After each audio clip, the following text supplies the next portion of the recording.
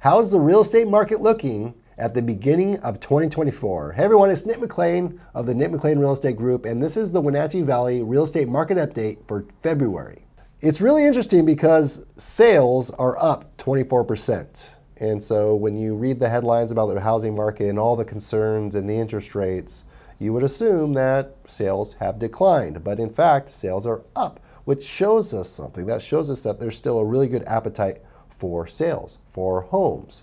24%, that's a sizable return or sizable increase compared to last year. Now, the increase is from 2023, January, and we're looking at January 2024, and we see a 24% increase.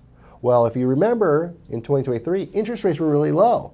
So we're comparing this environment with higher interest rates to an environment with lower interest rate, and we're beating it.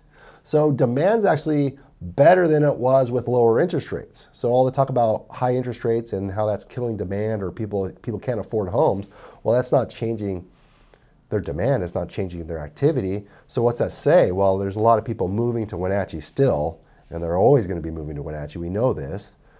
And we know that a lot of those people don't need loans. That's not all of them, but a lot of them are coming over and paying cash or have a big down payment. So they're not affected by interest rates as much as you think. And then you combine that with pent up demand. So all the first time home buyers and people that want to own a home that haven't been able to get a home and during the pandemic and COVID, they were getting beat out by the investors. Well, they're fed up and they want to buy a home and they're willing to do it. And so we're seeing that demand show up right there. And what's interesting though is anytime you look at demand, you always have to look at the supply. And because the supply and the demand is going to tell you what's happening with prices. And I'm going to tell you what prices are doing in just a minute. Active inventory, so the active number of listings on the market, it's down 17% from last year. We were already really low in 2023. Inventory was drastically low in 2023, and now we're 17% lower. So what do you think? Demand's up, supply's down. What do you think is happening to prices? Well, we're showing right now entering 2024, the beginning of 2024, we're showing prices are up 3%. So they're starting to rebound. In 2023, they went down 5%, 5 to 7%. In fact, I think it's more like 7% they went down in 2023 because of the interest rates. But we're seeing that rebound. So did we actually hit a, a bottom and started to rebound back up? Quite possibly. The only thing that would change that rebound in prices is if inventory jumped up. Now, I do think going into the spring, seasonally, you're going to see an increase in inventory. We'll probably do another video on this, the best time to list your home all year. It's coming up soon. You'll probably see it in March or April. I'll give you the exact date on the video, but you know, we're going to see inventory drop up. That's going to be interesting to see what how much inventory hits on the spring. Is it going to be a tidal wave? Is it going to be a tsunami of sellers hitting the marketplace, or is it going to be uh, a normal distribution of sellers? I don't know yet. We don't know. We don't know. We do know people are still putting their homes on the market, obviously.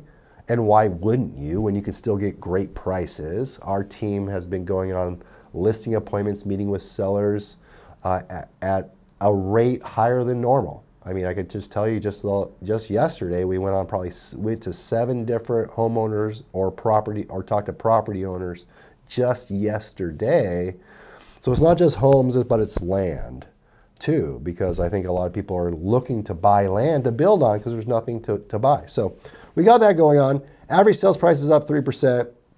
What you should know is this really cool thing that I look at is list price to sell price ratio. So if you put your home on the market today, what will the offers look like? Right? Two years ago, three years ago during the pandemic, right, you heard about multiple offer situation. Lots of demand, people lines in the street for homes.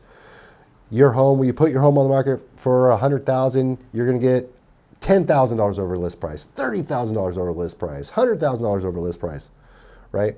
That's that was 103, 104 percent. Right now, if you list your home on the market, you're probably going to get an offer a little bit lower, right? So 93% low actually. So if you put your home on the market for 500,000, you know, you're probably going to get an offer for, you know, 460, 470, right? And maybe the buyer's going to ask you to pay for a little bit of a little loan cost, maybe to pay down some of those fees because the rates are so high, or maybe they want you to buy down the rate a little bit. We're seeing that, you know, we're seeing incentives. Builders are giving incentives out there, you know, enticing buyers to buy their home, right? Kind of lower that that cost to get into home ownership. So it's something you need to think about. So 93%. Now at our company, Nick McLean Real Estate Group, I want to beat those numbers because when you hire us, I want to beat the competition. You know, the single most important thing, decision you have to make when it comes to selling your home is what agent you choose. And so I think the agent can make a difference here. See, these, this is the average. This isn't me. I'm going to beat that number. I'm going to beat it really good, actually. So we're seeing offers on some of our homes. We had a home in Fancher Heights in East Wenatchee, if you know where that is. We sold that one, right? I don't know. Full price, or really close to full price. 97%, 98% of full price. Um, we recently listed a house in Quincy. I can't tell you the details, but I can tell you this, we had four offers, and anytime we have four offers, we're gonna get full price or more.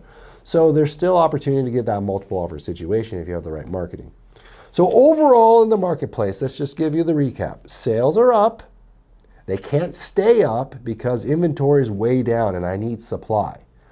Sellers are going to be coming on in the spring. They always do, and that might be you. That might be you. And I don't think that's a bad move because prices are up, right? Our prices are going to continue to go up? I don't know. We don't know that. But I'm going to shoot a video soon to tell you when to list your house. If you're curious on what your home's worth, you can always go to our website, nickmcleanrealestate.com or wavalues.com. That's W A values.com. Go to wavalues.com, you enter in your address, you click get report, you might have to add, add a couple more details, and it's going to give you a value of your home. So go there right now or give us a call. We'd love to talk to you and help you sell your home.